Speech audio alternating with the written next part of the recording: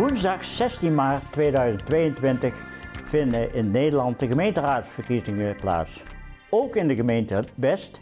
En daarom heeft Plein Best het idee geopperd om alle politieke partijen in Best uit te nodigen en hen zes vragen voor te leggen. Vijf vragen krijgen ze van tevoren en kunnen ze over nadenken.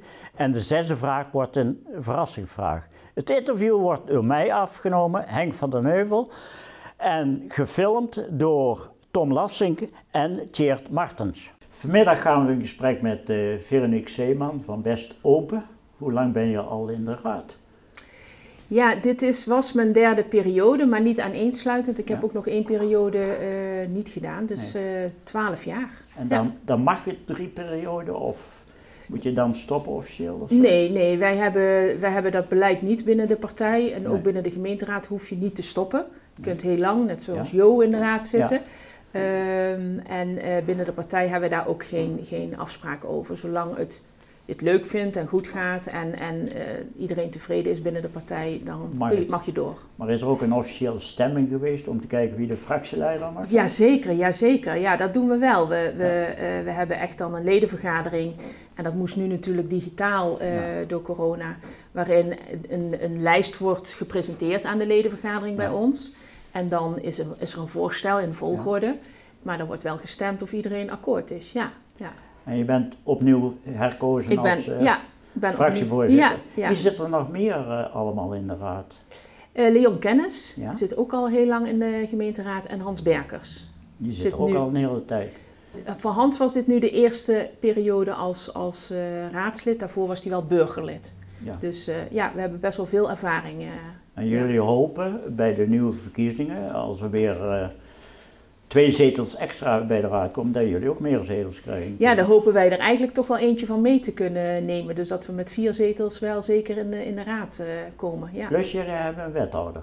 Ja, we, we hebben nu een wethouder, Mark van Schuppen. Ja. En Mark die, die gaat ermee stoppen. Dat heeft hij ook al. helemaal mee stoppen? Ook nee, niet? hij blijft wel bij de partij en politiek. Maar geen in raadslid? Nee, geen raadslid en ook geen wethouder. Nee. Dan hebben jullie wel een kandidaat raadslid. Ja, dat is heel raar om van jezelf te zeggen, ja. maar dat ben ik dan in dit geval. Ja. Dus uh, als wij uh, mee kunnen doen en, en een, een, wethouder mogen leveren, dan ben ik daar wel voor, uh, voor in. Ja. Oh, dat is mooi. Maar dat betekent wel dat je je gewone werk uh, opzij moet schuiven. Ja, ja. En dat is en jammer ik, natuurlijk. Dat is jammer. En ik weet niet of mijn baas nu meekijkt, maar die vindt dat waarschijnlijk ook jammer. Ik werk ook al heel lang in de jeugdzorg en bij eenzelfde organisatie, ook meer dan twintig jaar. Ja. Dus ik, uh, als het zover is, laat ik ook heel wat achter. Ja. Ja. ja, ik ga dan automatisch over naar vraag 2. Dan gaat het over het jeugd- en jongerenwerk. Ja, ja. dat is een mooi bruggetje. Vind je dat het goed is geregeld in Best? Of kan het nog beter op? En op welke punten? Nee, ik vind primair dat het jeugd- en jongerenwerk goed is geregeld. Ja. Er is dus behoorlijk aandacht voor. We hebben natuurlijk ook Todo, het jongerencentrum. Ja. Daar zitten ook, ook jongere coaches. Um, kijk, als, als jeugdhulpverlener in hart en nieren ja. denk ik dat het altijd beter kan. Kijk, we hebben een tijd gehad, dan hadden we toch nog iets meer de, de, de jongeren die, nou ja, met problemen en bijzondere ja. aandacht hadden we iets beter in beeld, denk ik, ja. dan nu. Um, en ik, primair vind ik dat, dat het, het jongerenwerk gewoon heel veel ook capaciteit moet hebben, ja. omdat er heel veel wordt gesignaleerd, wat ook achter de voordeur en, en, jongeren die eenzaam zijn of nou, wat, wat voor problemen dan ook. Dus daar denk ik dat dat nog wel wat versterkt kan worden met, met meer professionals. Maar ik weet wel dat er, er is ook echt wel vanuit het college nu heel veel aandacht voor. En mensen snapt wel dat, daar ja. ook, dat je daar ook heel preventief in kan werken. Ja. Dus nou, in basis denk ik dat het, dat het best oké okay is. En als ik het vergelijk met andere gemeentes, doen we er een best al heel veel aan. Maar ja, het, naar mijn idee kan het ook altijd wel wat beter. En dan moet maar je ook is naar het nou streven. verslechterd door die coronatoestand waarin we zitten? Ja, je hoort wel heel veel. En dat is in best denk ik niet anders. Jongeren die eenzaam zijn die, die uh, niet kunnen sporten, die van ellende uh, maar rondhangen. Uh, en, en, rondhangen is op zich nog niks mis mee. Nee. Maar als, dat, ja, als daar de verkeerde personen ook mee rondhangen, waarin gedeeld wordt of, of wat dan ook, ja, dan wordt het wel een probleem. En We hebben dat in de tijden dat, uh, dat het kon, zijn er ook heel veel activiteiten geweest, vanuit, ook vanuit Todo. Dus dat is denk ik heel prima. Maar toen had je ook beter zicht op, denk ik. En ja. nu is het steeds moeilijker. Ja, dat klopt. Ja. Want ze mogen nergens naartoe, dus... Ze zitten niet, ja, nu weer op school, maar ze zaten een tijd niet op school. Dus heel veel jeugd en jongeren waren gewoon niet zichtbaar. Ja. En, dan, dan, en dat, is een, dat is een groot risico. En ik vrees zelf dat wij daar nog echt wel, landelijk ook, nog wel de, de effecten van gaan meemaken. Die niet acuut morgen zichtbaar zijn. Ja. Maar je hoort heel veel studenten die, die ook hun studie zijn gestopt, die het niet meer zagen zitten, niet gemotiveerd. Ik, ik, ik hoorde in mijn eigen omgeving ook jongeren die, die, ja, die denken van, nou ja, ik ga maar werken. Er is werk genoeg, dat is de andere kant. Dus gelukkig is er werk genoeg. Mm. Maar ja, ik, ik verwacht... Maar dat is maar tijdelijk, hè, denk ik. Ja, dat denk ik ook. Dat denk ik ook. Kijk, en als je naar Tode gaat kijken, dat is een, een geweldige ophang, opvangplek in, in, Best. En als ik dan hoor dat ze ook nog gaan uitbreiden en alles, en dat er meer ruimte komt en alles die beschikbaar wordt gesteld, dan... Ja, ja. Dus dat is heel positief, dat denk ik wel. Ja. Maar je vindt ook dat ze meer de, de, de straat op moeten eigenlijk? Ik vind, ja, ik vind dat ze meer de straat op moeten. Kijk, we hebben Todo gelukkig en dat is een goede plek. Maar ja, Best is groter dan, dan, dan Todo. En uh, ik denk dat het heel belangrijk is dat... Ja, willen jongeren wat vertellen, dan moet er ook vertrouwen groeien. Ja. En dus, dus de jongerenwerkers moeten echt de straat op en daar zichtbaar zijn. En ook bij scholen, uh, bij, bij de sportclubs uh, ja. ondersteunen is natuurlijk ook een belangrijke ja, waar signalen terechtkomen. Dus, ja. Maar is dat ook voor raadsleden? Zou die ook veel meer de straat op moeten? Ja, eigenlijk wel. Eigenlijk wel. Kijk, wij als, als politieke partij organiseerden wij verleden veel vaker politieke cafés ook. Dat, die werden toch best wel goed bezocht. Dat vonden we ook altijd leuk. Dan sta, heb je direct contact met, met inwoners. Uh, dat is nu afgelopen periode heel erg ingewikkeld geweest. En ik vind het zelf soms wel een dilemma in tijd meer. Dat zit niet in, maar in tijd van, nou ja, want eigenlijk, ja, wij zijn ook volksvertegenwoordiger. Dat is onze. Dus ja, willen we dat goed willen doen, moeten we natuurlijk heel goed weten van wat, wat, vind, wat vinden inwoners van iets. En uh, ja, wij hadden dat middels die politieke cafés een manier waarin we dachten, nou, op die ja, kunnen we in ieder geval goed in contact blijven. En ieder van ons heeft natuurlijk echt wel zijn achterban en zijn contacten. En mensen weten ons ook gelukkig te vinden. We krijgen toch regelmatig ook mails en, en, en dat soort zaken. Dus, maar ja, we zouden meer zichtbaarder moeten zijn. En we hebben daar als, als raad vaker geprobeerd om op verschillende locaties te vergaderen. Maar dat is ook altijd weer ingewikkeld. Met, met uh, nou ja, en zeker nu we het opnemen, kan je ook niet zomaar op iedere plek vergaderen. Maar ja, in feite zouden we dat nog meer moeten zijn. Ja. Want een van die onderwerpen, een van die vragen was best duurzaam hè? En voor een bepaalde periode. Ja.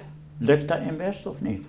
Nou, kijk, wij vinden het heel belangrijk dat, dat we duurzaam bezig zijn. En, dat, en voor ons, wij zeggen, het begint ook bij uh, uh, minder energie gebruiken. Hè? Ja. En uh, dus, dus daar begint het mee. En als je dan energie moet, moet opwekken, doe dat dan op een duurzame manier. Ja. En wij zeggen, kijk nou eens eerst naar, we hebben nog heel veel daken in Best waar zonnepanelen bijvoorbeeld op kunnen. Nou, nu zit je dan weer dat het energienet vol is, dus nu wordt er gezegd, dus stop op die zonnepanelen. Maar goed, daar, daar zijn wij wel voor. Wij zijn, en we vinden ook wel best ja, gasvrij van het gas af, zijn ook van die kreten. Ja, dat is mooi gezegd, dat ondersteunen we ook. Alleen, we moeten ook ons beseffen dat niet iedereen dat makkelijk kan betalen. Je kunt natuurlijk, als je moet overstappen van een bepaalde kachel naar een duurzame, dat kost mm. geld. Dat kan niet iedereen betalen. Dus we vinden het heel belangrijk dat, dat we uh, die duurzaamheid, ja, daar zijn we hartstikke voor. Daar is bijna niemand op tegen. Maar het moet ook zo ingericht worden dat het voor alle inwoners te betalen is. En, als, dat, en als mensen dat niet kunnen betalen, dan zullen wij daar als, als gemeente in moeten ondersteunen. En denk je dan bijvoorbeeld aan wijken zoals het Wilhelminendorp, Hoogakker, wij, eh, waar heel veel ouderen wonen. Ja. Waar we heel veel huurwoningen bij zijn, bijvoorbeeld in het Wilhelminendorp. Ja. Die niet goed geïsoleerd zijn. Nee, en daar heeft de woningbouwcorporatie natuurlijk een rol in om dat, om dat te doen. Maar het kan niet zo zijn dat als, als de woningbouwcorporatie het gaat isoleren, dat dan de huur in één keer heel veel stijgt. Want dan komen mensen in de problemen. Dus uh, uh, daar moeten we goed naar kijken. Dus onze ambities van gasvrij en duurzaam, dat, is heel, dat is heel goed. Maar we moeten wel kijken en zorgen dat iedereen mee kan daarin en het betaalbaar blijft. En ook financieel betaalbaar. En financieel, ja, zeker financieel betaalbaar. Ja, dat Want we merken langzaam zeggen dat de prijzen steeds omhoog gaan. Hè? Ja. De, de, gasprijzen gaan omhoog. En, uh, ja. Kunnen we wel zo door blijven gaan? Of moeten we misschien de, de onroerend zakenbelasting verhogen? Wat weer een belasting betekent voor die mensen. Financieel? Nou, wij zijn niet voor uh, een, een verhoging van de onroerend zaakbelasting. Wij zijn best eens een gezonde financiële, of een gezonde, uh, financieel gezonde gemeente. Wij zien echt nog wel mogelijkheden om op andere manieren wat te bezuinigen of, of wat dan ook. En uh, dus wij zijn daar niet voor, tenzij het aantoonbaar is dat het niet anders kan. Ja. En we hebben gelukkig nog steeds in Best toch ook wel ondersteunende. We hebben Stichting Leergeld die, ja. die mensen kan ondersteunen.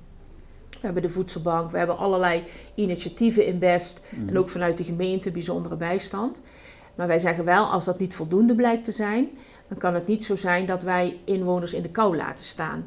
Wij vinden, wij Best Open ondersteunt echt ook degene, dat zeggen we altijd, wij zijn er ook voor de kwetsbaren. Ja. In, in onze uh, uh, gemeente. En daar moet de, de, het, de gemeente moet daarvoor zorgen. Maar Kijk, mensen, komen die aantal, uh, aantal mensen met kwetsbare mensen, wordt dat niet heel veel? Dat, dat wordt wel meer. We ja. zien wel uh, dat, dat die groep die het moeilijk heeft financieel, ook door corona, maar, ja. maar, en inderdaad door de stijging van prijzen, het financieel lastiger hebben. En de kunst is wel om ja, dat die mensen waarvoor allerlei ondersteunende maatregelen bedoeld zijn, dat we die bereiken. En daar is nog wel in te winnen, want een aantal mensen schamen zich, weten ja. het niet. Uh, uh, en, en dat is nog wel iets waar wij ja, vinden dat, dat moet de gemeente nog sterker in worden. Van hoe komen we, hoe zorgen we nu dat, dat de ondersteunende middelen die we hebben in de gemeente. Ja. Uh, en een, nou ja, allerlei mogelijkheden, maar dat die ook de mensen bereiken die het nodig hebben. Maar hoe, hoe, hoe kom je erachter? Hè? Want ik ja. weet, mensen in het Wilhelminendorp die stappen en andere wijken stappen heel moeilijk over die drempel Ja. heen. Hè? Ja. Want die willen het zelf kunnen betalen en ik koop pas een andere koelkast als ik het geld Als heb. ik het geld heb, ja. Hoe zorg je ervoor dat die mensen toch bereikt worden en de mogelijkheden verteld wordt? Ja, ik denk dat we dus als gemeente meer ook dan de straat op moeten. ja. En moeten verkondigen. En, en, eh, en dat, is, dat is ook een kwestie van lange adem hebben. Ja. En ik denk als je, als je eh, blijft, ook, ook in het Wilhelminadorp, blijft noemen wat er aan mogelijkheden is. Mhm. In contact blijft, maar dat is de straat op. Dat is flyeren. Ja. Dat is een reeks van dingen die, waarvan ik denk, die moeten we doen. Om de mensen ervan te doordringen van, nou, er zijn mogelijkheden om jou Ja. te ondersteunen financieel. En ja, we hebben natuurlijk eh, eh, niet overal nog een, een wijkpunt en noem maar op. Maar dat Ja. zou natuurlijk wel goed zijn dat er een punt is waar mensen ook met vragen terecht kunnen. En we hebben, Wilhelmina Dorp heeft ook wijkcoaches. Ja. Maar nou ja, die moeten natuurlijk wel eerst bekend ook zijn. En Ja. die moeten vooral heel zichtbaar zijn. Zodat mensen een beetje vertrouwen krijgen in diegene die, ja, die, die dat zegt. Dus is zo- zo'n cadans en vroeger de wicht, maar dat zou heel belangrijk zijn Ja. voor die mensen dat Ja. ze daar naartoe kunnen Ja. gaan. Mee eens, helemaal. Zo'n plek maakt wel dat er een punt is dat mensen weten, oh daar kan ik naartoe met mijn vragen. Ja. We zien het bij Bestwijzer, Ja. wat heel goed werkt. Ja. Maar ja, niet voor iedereen, niet voor mensen uit Wilhelminadorp of een andere wijk die veel verder af ligt. Daar is Bestwijzer misschien niet de eerste plek om de vragen te stellen. Nee, en bovendien, in het Wilhelminendorp hebben ze helemaal niks. hè. Nee, nee, nee, niet eens een huisarts. Hè? Nee, De, die, oh. eh, nee. Dus ja, dat stimuleren van het wijkgerichte, Ja. dat, dat je daar ook zichtbaar aanwezig bent, ja, dat vinden wij wel heel belangrijk. En kunnen we dan met eh, onze raadsleden aan, of kunnen we niet beter een wijk van Eindhoven worden? Nee, nee, nee, nee, nee. Wij, we zijn, eh, wij zijn heel erg voor zelfstandigheid. We hebben volgens mij ook in Best echt laten zien Hmm. dat, dat we dat kunnen. We, het, het zit bestuurlijk, hebben wij geen gedoe in Best. Nee. Dat is ook belangrijk. Nee.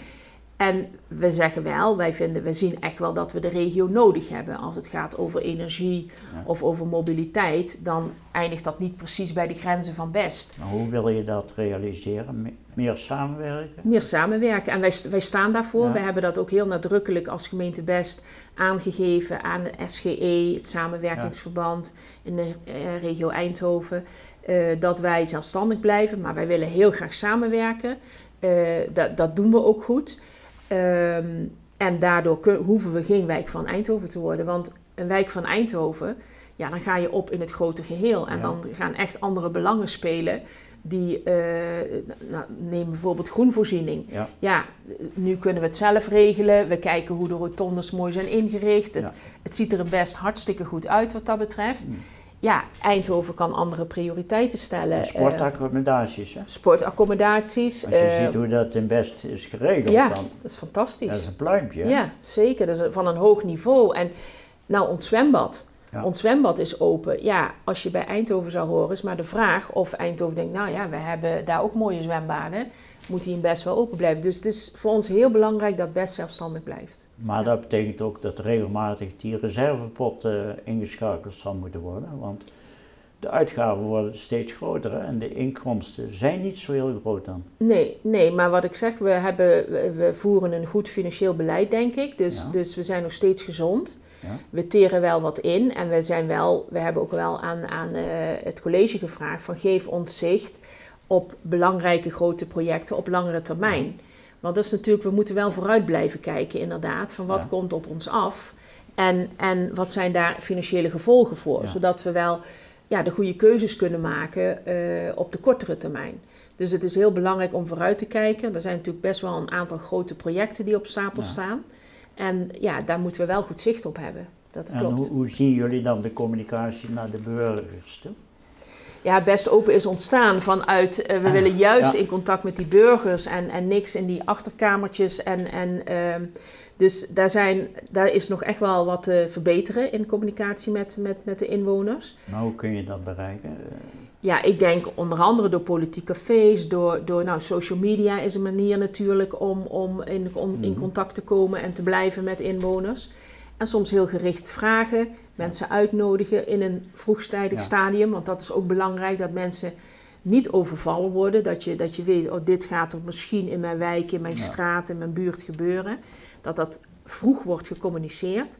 En dat je ook serieus genomen wordt en, en dat er echt geluisterd wordt naar mensen. Ik denk dat dat heel belangrijk is. Zijn die stappen bijvoorbeeld met vraag 6, uh, eh, wat natuurlijk te verwachten is, het, het, gemeentehuis, zijn die stappen niet in vlucht genomen? Ja, misschien wel, misschien wel. Ik, ik, uh, het is, ik begrijp bij zo'n ingewikkeld iets is het lastig op welk moment wie ga je erbij betrekken. Maar het gemeentehuis gaat iedereen in best aan. Ja. Hè? Het is het huis van ons allemaal in feite. En ik denk wel dat achteraf bezien dat uh, dat, dat ja, anders gecommuniceerd had kunnen en moeten worden. Ik denk dat dat uh, duidelijk had moeten worden. Um, waar gaat het over? Ik heb in de raad gepleit omdat iedereen sprak over het gemeentehuis. Ja. En terwijl ik zeg, het, het, gaat niet alleen over het gemeentehuis, het gaat ook over Bestwijzer en misschien nog meer functies. Dus laten we het vooralsnog, vooralsnog het Huis van Best noemen. Ja. Om het anders te benoemen.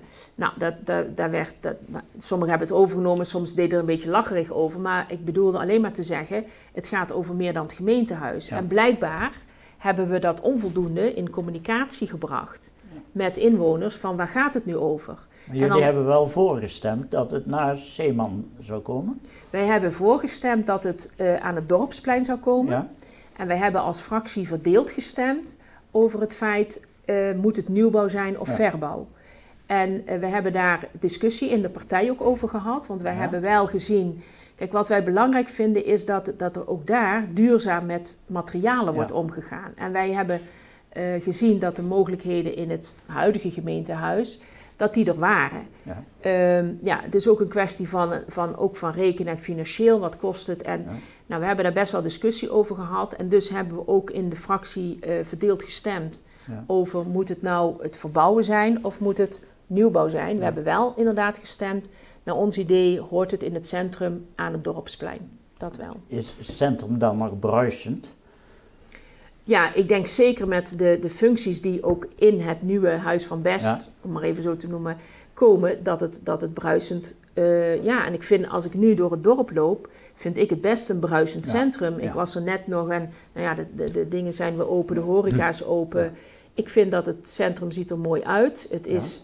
Ja, je kunt altijd meer willen, maar ik vind dat het behoorlijk bruist met de horeca die er is. En ik denk dat, en ook als het gemeentehuis de verschillende functies krijgt, dan hou je het ook bruisend. Ja. Hoe ziet hij dan het huis van Best? Uh, gedeeltelijk gewoon het gemeentehuis en gedeeltelijk iets anders? Gedeeltelijk best wijzig. Ja.